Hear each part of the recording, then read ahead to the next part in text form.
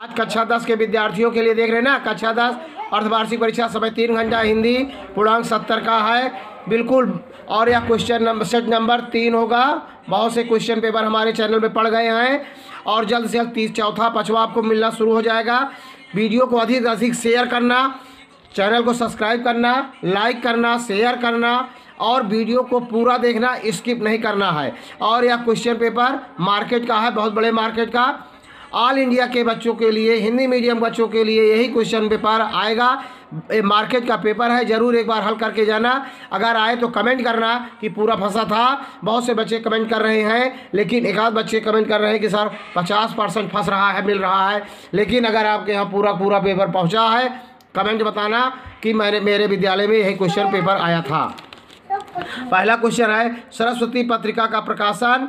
1900 में चार विकल्प दिए गए हैं, जो सही हो हमारे हिसाब से 1900 आधुनिक साहित्य की सबसे लोकप्रिय विधा, गोदान की विधा है उपन्यास, द्विवेदी युग की काल अवधि है 1900 से 1922 वीरगाथा काल में रचनाएँ कितने भागों में विभक्त हैं? देख रहे हैं ना, आधुनिक काल को कितने, आधुनिक काल को कितने भागों में बांटा गया है? चार। रिक्त मुक्त कवि कौन है?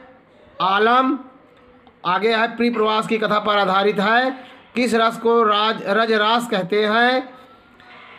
अलंकार के कितने प्रकार होते हैं? और गणों की सही संख्या?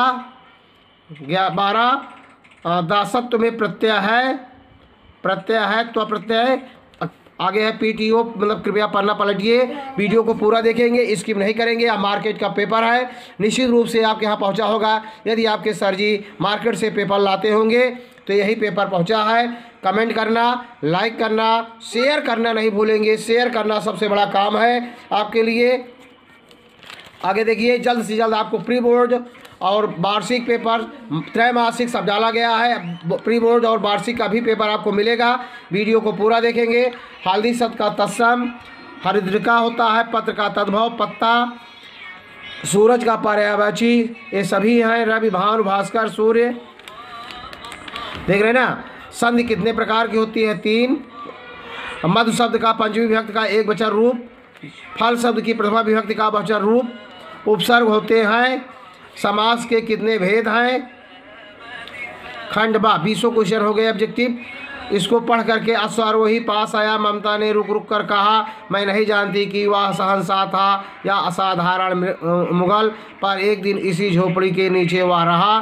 मैंने सुना था कि वह मेरा घर बनवाने की आज्ञा दे चुका था। मैं आजीवन अपनी झोपड़ी के खोदे जाने के डर से भयभीत रही।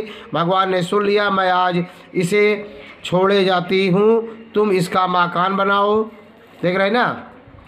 मका, मकान बनाओ या महल मैं अपने चिर विश्राम गृह में जाती हूँ। प्रस्तुत अवतरण का संदर्भ सहित रेखांकित अंश की व्याख्या सहनसा शब्द किसके लिए प्रयोग हुआ था? सहनसा अश्वारोही के लिए हुआ था। चिर विश्राम गृह से क्या आश्रय है? मतलब जब चिर विश्राम का मतलब होता है जो व्यक्ति सदा सदा के लिए सो जाते हैं जिनकी मृत्यु हो जाती है उनके लिए प्रयोग किया जाता है चिर विश्राम। आजीवन भयभीत रहने का कारण मतलब उसके पास एक टूटी फूटी झोपड़ी थी, वो सोच रही थी, खुद जाएगा तो हमारी झोपड़ी भी चली जाएगी, पता नहीं घर बने कि ना बने, इसी से डरी साहबी रहती थी। कुशान का ज्वार के बारे में यहाँ देख रहे बिल्कुल दिखाई दे रहा है, पढ़ेंगे। फिर बहुत है प्रस्तुत, अवतरण के पाठ का लेखा का नाम रेखांकित अंशों की व्याख्या मतलब इसका निचोड़ यही है कि आपकी संगत यदि अच्छी होगी तो आप दिन दूने रात चौगने के साथ से विकास करेंगे। आपका दिन, आपका दिनचर्या अच्छा रहेगा। आप दिन प्रतिदिन अपने जीवन में आगे बढ़ते जाएँगे। और यदि आपकी संगत को संगत होगी, खराब होगी, दुष्ट व्यक्ति की संगत में पड़ जाएँगे तो आपके जैसे पैरों में चक्की पत्थर बाँध दिया गया और दिन प्रतिदिन आप औनत की ओर जाएँगे। आपका औनत होता जाएगा, आप गड्ढे में गिरते जाएँगे, आपका पतन होता जाएगा। पद्यांश के आधार पर साथ दिए गए प्रश्नों को उत्तर दीजिए। देख रहे ना, कवि के अनुसार, जप, माला, छापा, तिलक सरय नए कौ काम, मन काचय नाचय वृथा साचय राचय राम। कब के अनुसार ईश्वर की प्राप्त कैसे होती है? कब के अनुसार किन झूठे दिखावों से ईश्वर की प्राप्त नहीं हो सकती? प्रस्तुत पद्यांश में कौन सा अलंकार है अथवा दुस्साह, दुराज, प्रजातु कै क्यों न बढ़े? द्वंद्व अधिक, अधेरी जग करत मिले पावस रविचंदु देख रहे ना अब इसमें ईश्वर प्राप्त मतलब दिखावे, यहाँ पर अर्थ है कैस, प्राप्त कैसे होती है? सच्चे मन से पूजा पाठ करने से या परोपकार करने से ईश्वर की प्राप्त होती है।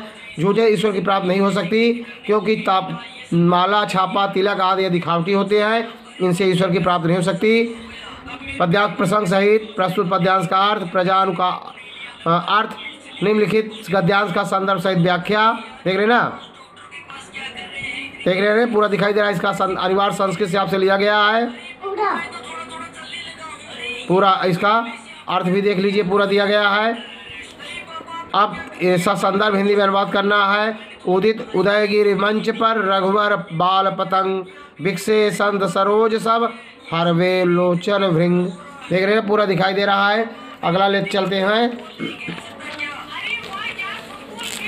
अब इसी में अपने खंड का बहुत से खंड का चलते हैं। अगर आप प्रतापगढ़ जिला के हैं तो प्रतापगढ़ ज़िले में जवाहर उत्तर प्रदेश के प्रतापगढ़ जिला में जो जवाहर में पंडित जवाहरलाल नेहरू के पूरे जीवन परिचय का है, उन्हीं को हीरो माना गया है, नायक माना, सब कुछ लिखना है, छोड़ना नहीं है।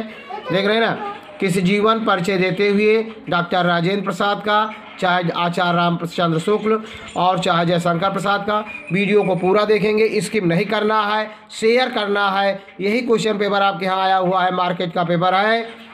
देख रहे ना? और निम्न किसी कवियों, किसी एक का जीवन परिचय देते हुए उनकी किन्हीं दो रचनाओं का उल्लेख कीजिए। तुलसीदास, सूरदास, रसखान। अपनी पाठ पुस्तक से कंठस्थ किया हुआ कोई एक श्लोक है जो इस प्रश्न पत्र में न आया हो। निम्नलिखित प्रश्नों में से किन्हीं दो प्रश्नों के उत्तर संस्कृत में दीजिए। कुत मरणम मंगलम भवती। कुत्र लोहमम विज्ञातम। ज्ञानम कुत्र संभव ज्ञान ज्ञानम सर्वत्र संभवती सर्वत्र, कुत्र की जगह क्या लिखेंगे? सर्वत्र संभवती पदेन बिना किम दूरम याति? पदेन बिना पत्रम दूरम याति। दोनों हो गया ना? किम की जगह यहाँ पत्रम लिखेंगे? और यहाँ सर्वत्र लिख देंगे। दो प्रश्नों का उत्तर देना था। उपमा अथवा अलंग रूपक अलंकार की परिभाषा उदाहरण सही दीजिए। निम्नलिखित में से किन्हीं दो वाक्यों का संकेत अनुवाद कीजिए। मेरा भाई प्रातः काम पर जाएगा, वह गंगा का जल है, बालक गेंद से खेलते हैं, भिक्षु को वस्त्र दे दो, वह जाता है, वह जाता है सागच्छा दी बालक गेंद से खेलता है, बालका कंदुकेन क्रीजादी ऐसा लिखेंगे, बालका कंदुकेन क्रीजादी वह जाता है सागच्छा दो को ही करना दोनों हो गया। एक निबंध लिख रहा है विषय पर। कई निबंध पे जो पेपर डाले गए हैं उनमें आपको पूरा मिल जाएगा। स्वच्छ भारत अभियान, मेरी प्रिय पुस्तक रामायण, रामचरित मानस, सभी घर घर होता है। उसे भी हम लिखेंगे। कहानी भगवान रामचंद्र जी के बारे में है। लेखक तुलसी रामचरित मानस के लेखक तुलसीदास जी हैं। पूरा लिख देंगे। बन रहेंगे, हम रहेंगे। आर्थिक मंदी, प्रदूषण की समस्या एवं निराकरण। देख रहे ना? इस तरह से वीडियो आपको पूरा अच्छा लगा हो तो लाइक करना, सब्सक्राइब करना, शेयर करना। जय हिंद, जय भारत।